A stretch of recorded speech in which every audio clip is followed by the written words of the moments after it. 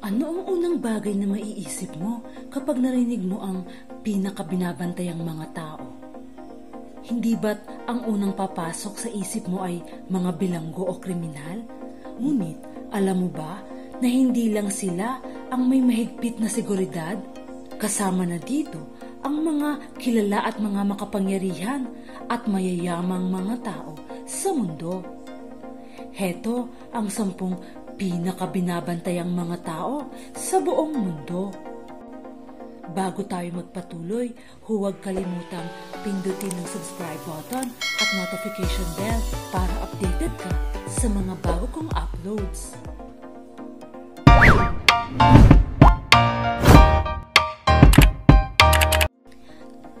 Number 10, Queen Elizabeth II. Ipinanganak si Queen Elizabeth II noong April 21, 1926. Siya ang unang anak ng Duke and Duchess of York na kalaunan ay naging King George VI at Queen Elizabeth.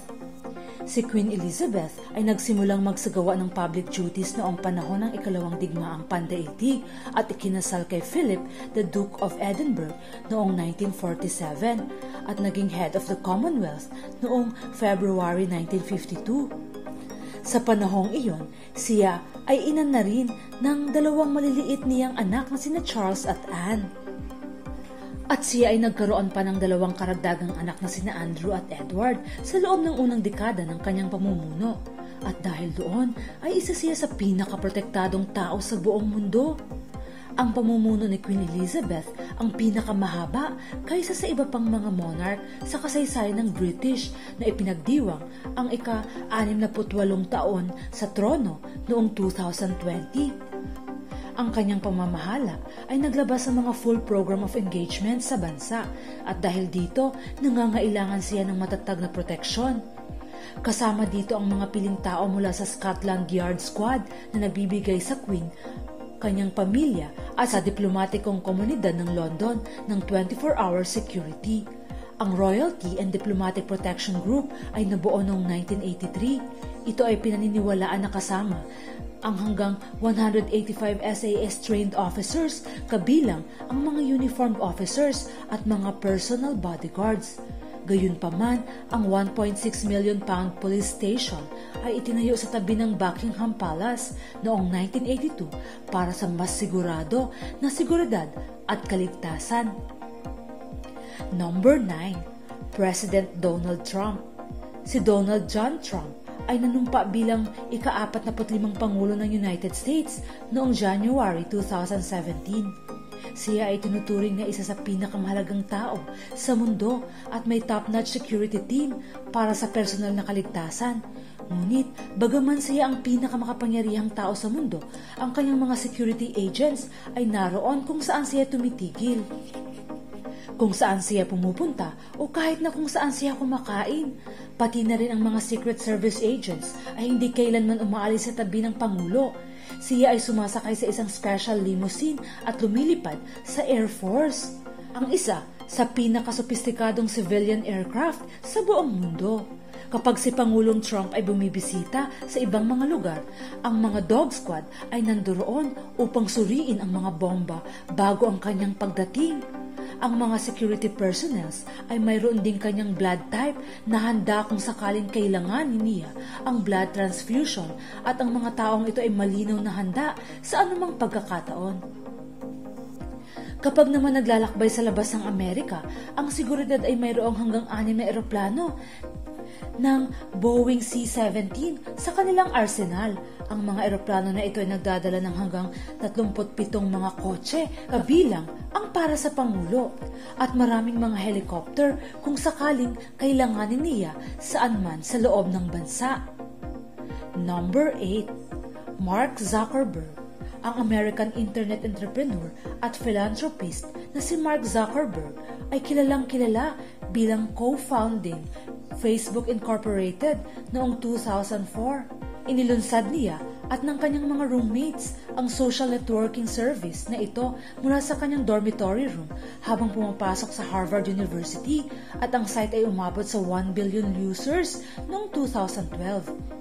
ang Facebook ay mabilis na naging isang global sensation at si Zuckerberg ay tinatayang mayroong ngayong nagkakahalaga ng halos 54 million dollars at sa kasamaang palad dahil sa katanyagan ay dumating ang pangangailangan niya para sa karagdagang seguridad. Sa katunayan, nagkakahalaga ang Facebook ng 13 million dollar noong 2017 at 22 million dollar noong 2018 upang maprotektahan ang CEO nito. Noong 2017, si Zuckerberg ay naging pinakabatang self-made billionaire sa buong mundo. At subalit, ang kabuoang sweldo ni Zuckerberg ay tumalon mula sa 9.1 million noong 2017 hanggang 22.6 million noong 2018 upang masakop ang pagtaas ng mga gastos sa kanyang seguridad. Ang private aircraft travel forms ay bahagi ng security program kasama ang mga bodyguards at 16-man security detailed patrols na nagpapatrolya sa kanyang Palo Alto mansion ng 24-7. Number 7. Vladimir Putin Si Vladimir Putin ay nahalal sa loob ng dalawang mahahabang posisyon bilang Pangulo ng Russia at dalawang beses din siyang nagsilbi bilang Prime Minister. Ang kanyang pinakabagong katungkulan bilang Pangulo ay nagsimula noong 2012. Ang kanyang karera sa politika ay nagsimula pa noong 1991 nang magbitiw siya sa tungkulin bilang isang KGB Foreign Intelligence role kung saan siya ang isang Lieutenant Colonel ang karanasan na ito ay walang alinlangan na nagsilbi siya ng maayos sa larangan ng politika at kilalang kilala siya sa pagiging matapang na taskmaster. Ang Russia's Presidential Security Service, SBP, na isang federal government agency ay tungkulin na protektahan si Pangulong Putin, ang Prime Minister ng Russia at kapwa kanilang pamilya at mga tirahan.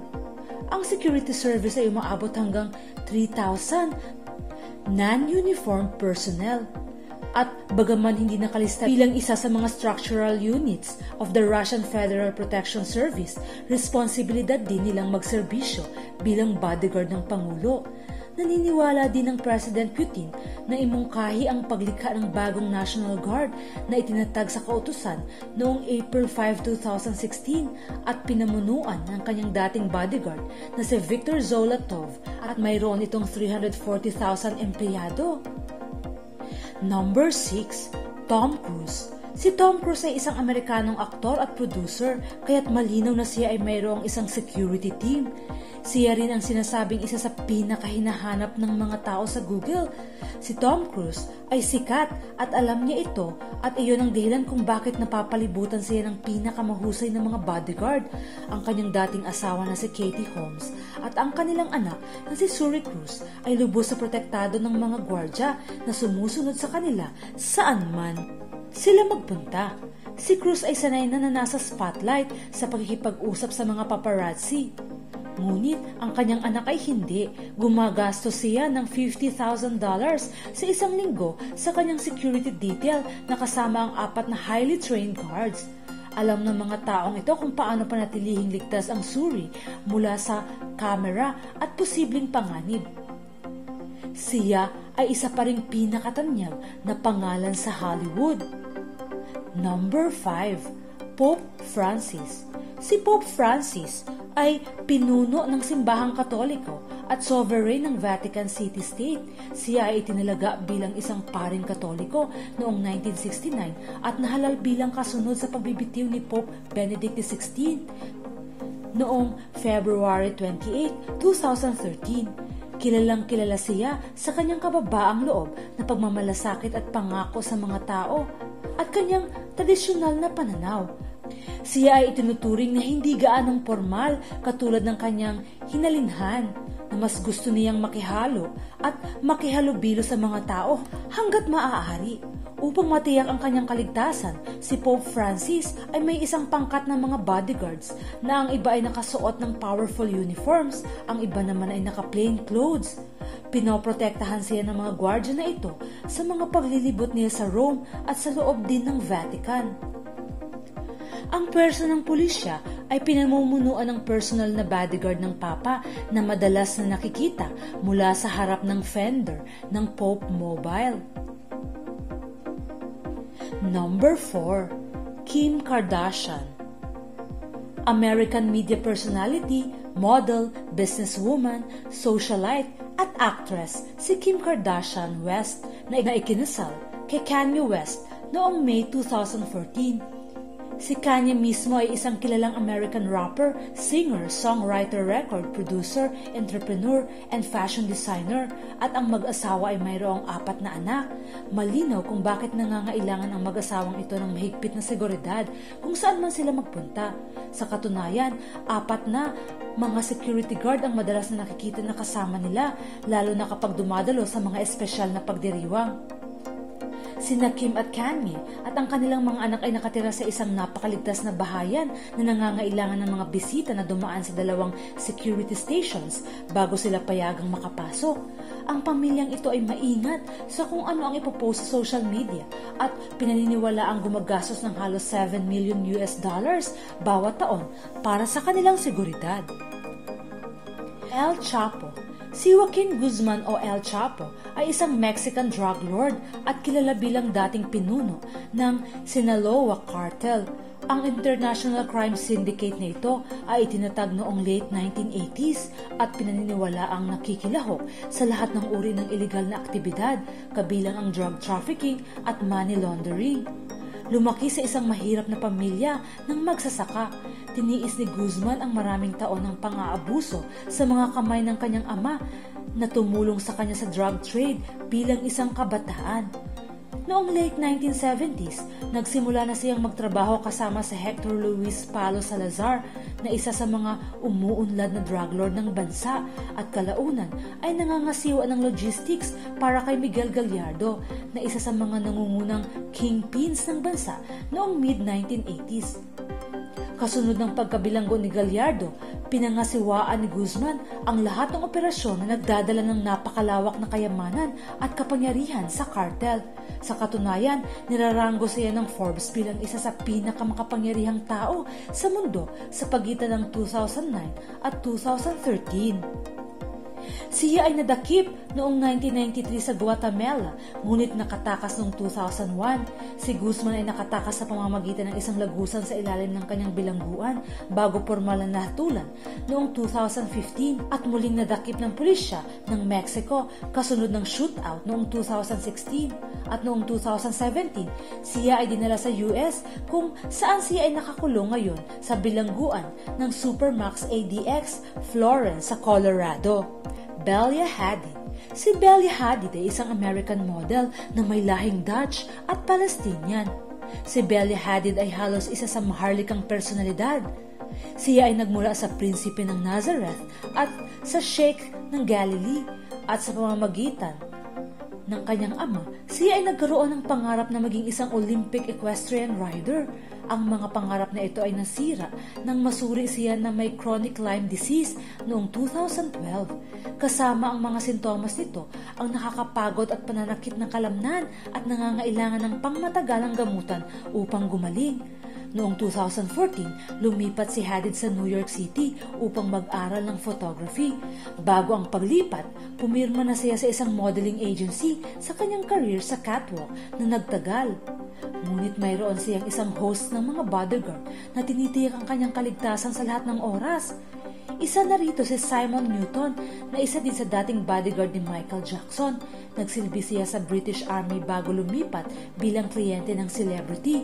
Ang kanyang damit ay pinapasadya upang itago ang isang baril. Marunong din siyang makakita ng isang taong kahinahinala mula sa malayo. Number 1. Jeff Bezos, ang sumasahod ng halagang 124 billion US dollars ang CEO ng Amazon na si Jeff Bezos, isang pinakaprotektadong tao hindi lamang siya may kahangahangang seguridad, kundi ang kanyang Seattle office ay ang tunay na kahanga-hanga. Noong 2019, ang mga bulletproof panels na nagkakahalaga ng 180,000 US dollars ay itinayo sa tanggapan at ito ay dinisenyo upang malabanan ang maraming mga pagbaril mula sa isang military assault rifle ang mga panels na ito ay naasahan na panatilihing ligtas anumang mga panganib sa labas mula sa pagdating kahit saan na malapit sa respetadong pinuno ng Amazon. Amazon ay may isang piling pangkat ng mga bantay para Executive Protection Agents. Ang mga agents na ito ay may mga kasanayan sa Marine US Secret Service at sa SWAT teams. Isinasagawa nila ang mga security and logistical plans kapag ang mga senior executives ay naglalakbay o nagpapakita sa publiko at pinananatili ang isang database ng komunikasyon at tauhan na nagbibigay ng mga potensyal na banta sa mga executives. Wow! Grabe yon hindi ba? Alin sa mga nabanggit ang pinakahinangaan mo? I-comment na sa ibaba. Eto nga pala ang ating mga shoutouts.